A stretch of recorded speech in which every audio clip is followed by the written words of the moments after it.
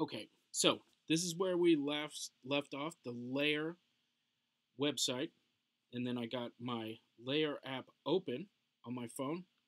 Now we are going to look at the background on my side, the website I have this. So this is my own personal website, and now this is a WordPress site, and I am using a WordPress plugin called FeedGeorge.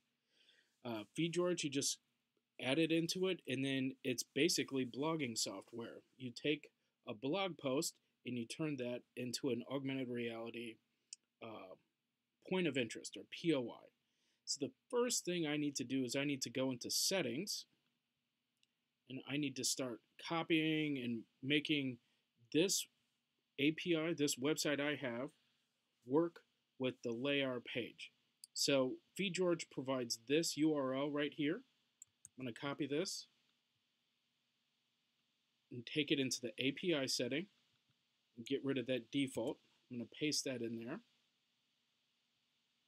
And that's in there. I'm going to save that new API. If I go on my phone here, it should start connecting to my page instead of the default setting. So there's no content available here.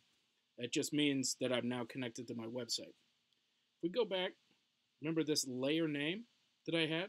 This is what was generated by the Layar site. So I'm going to copy that. I'm going to go back into uh, FeedGeorge here.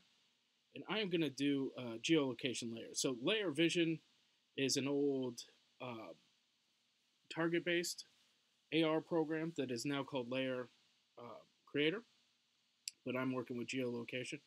So I'm going to go in here.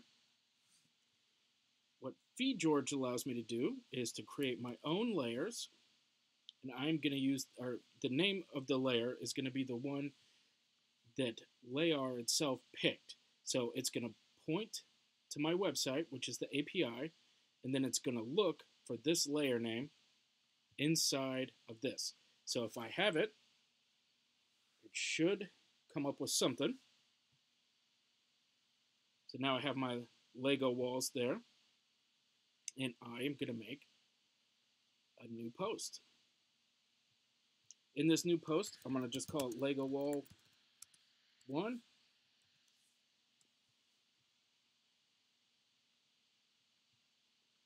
Move this over so you can see.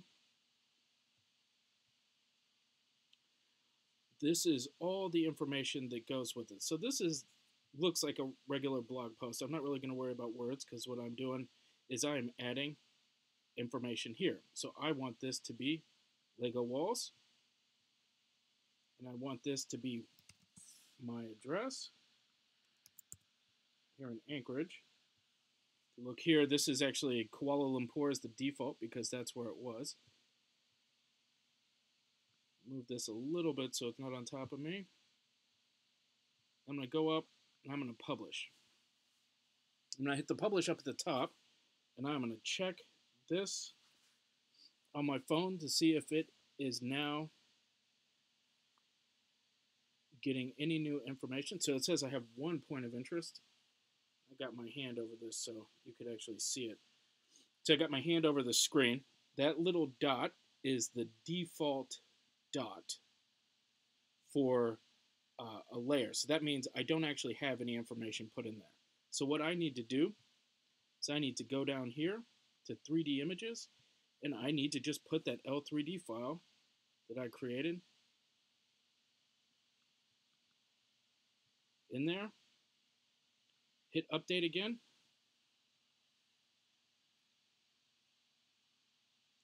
Let's see if we can't get an object to show up for us. And there we have it. That is our Lego wall up in our browser. We're going to go down here and we're going to make it look just a little bit prettier. So we're going to set a featured image. I like to keep all sorts of uh, totally metal things around here. Let's go ahead and give it a Let's give it a hairy man.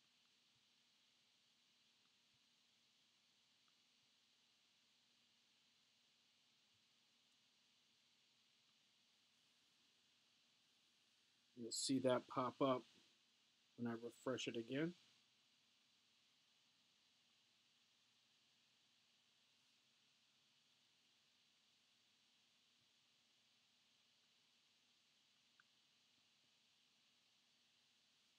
There we go. Lego Wall 1. Augmented reality. Started with a 3D model, and now we got it up in a browser.